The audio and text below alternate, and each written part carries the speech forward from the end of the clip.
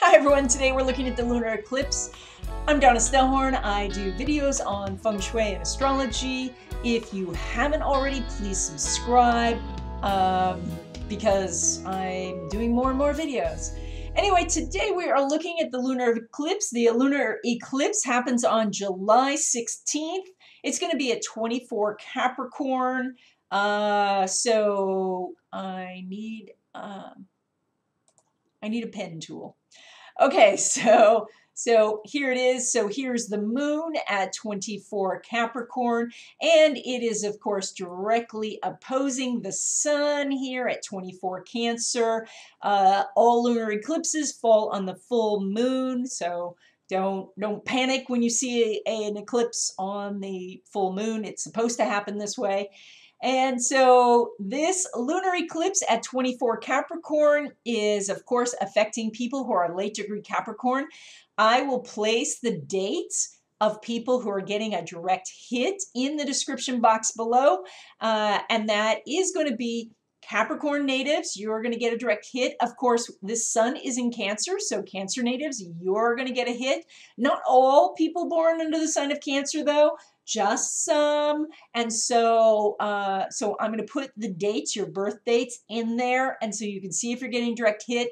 In addition, because of the square energy, it also is some people born under the sign of Aries and some people born under the sign of Libra.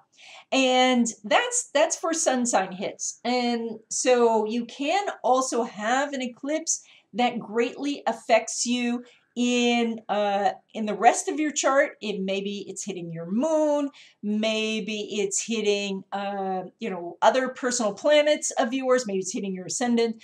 So unless you really know your chart, you'll have to sit down with an astrologer and say, "Hey, am I getting hit by this lunar eclipse?" All right, but what what it means? What is it? What means? What means? English is new for me. Okay, so what does it mean to get hit by the lunar eclipse? Well, lunar eclipses are a little different than solar eclipses.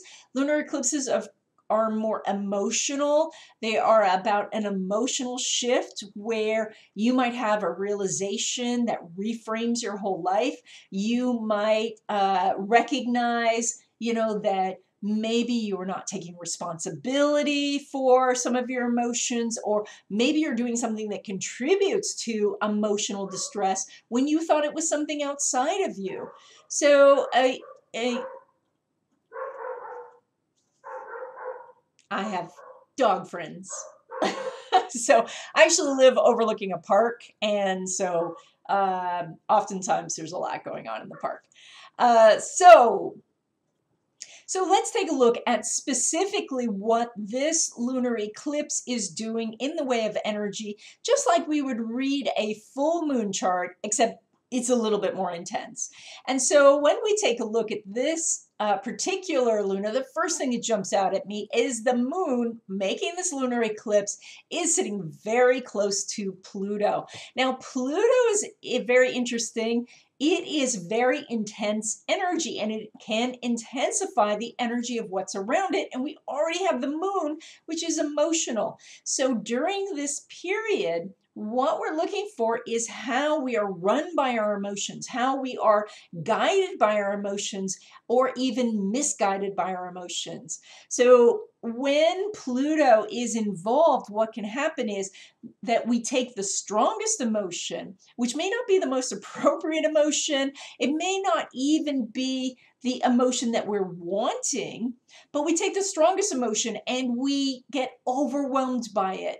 So, this could be that a person is 99% confident, but they have a little bit of fear. But in that moment, the fear was strong, and then the fear overwhelms them, and they can't get up on stage or they can't make their presentation.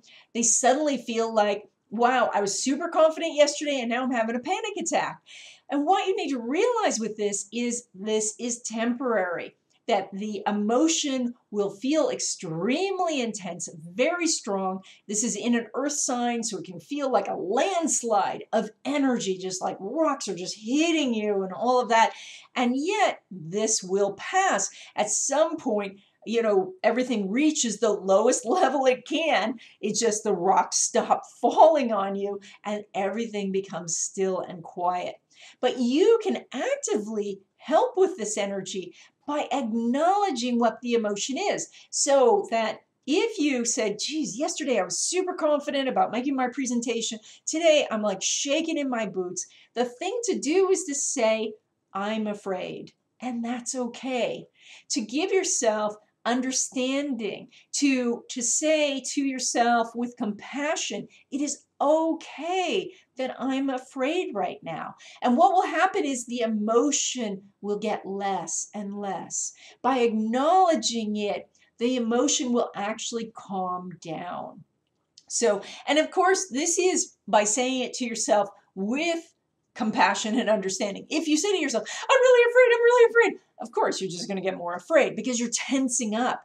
But if you thought of it like, if a little child came to you or if, or if you if there was a puppy and he was afraid you would scoop the puppy up in your arms and you'd hold on to that puppy and you'd pet the puppy and you'd speak in this calm voice it's okay that you're afraid it's okay.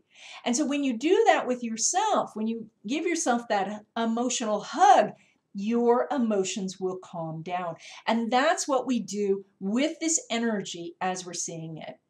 Now, the other thing that I wanted to point out with this energy of the lunar return is this really interesting square that we're doing. We're doing uh, Uranus at six degrees of Taurus, and that is square the Mars at nine degrees of Leo. Now, this aspect is separating. So in fact, it's already 3 degrees out there. So this energy is not something you're going to be doing, but something you have done.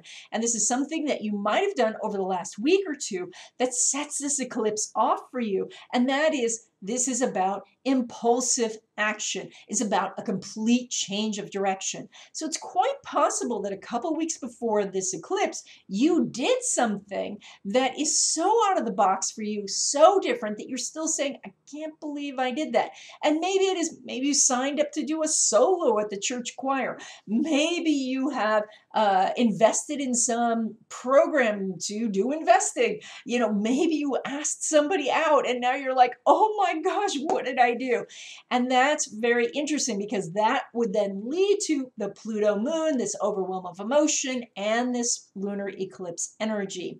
So, but this thing is already done. It's already happened. And so the best thing for you to do is for you to just breathe through it and say, all right, I've set this in motion. Maybe it is a landslide, but I can handle it.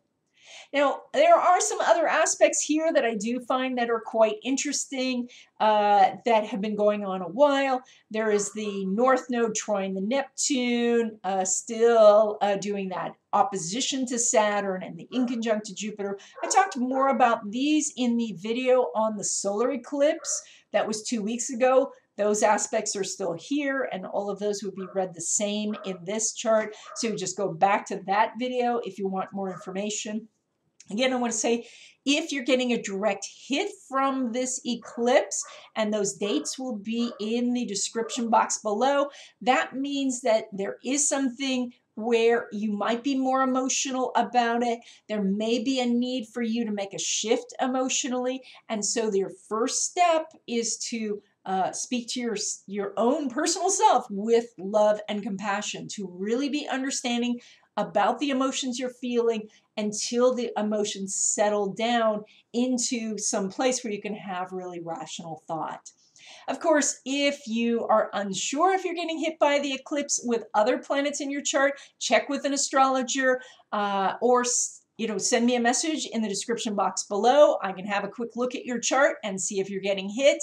Uh, of course, I do consultations if you want to have detailed information.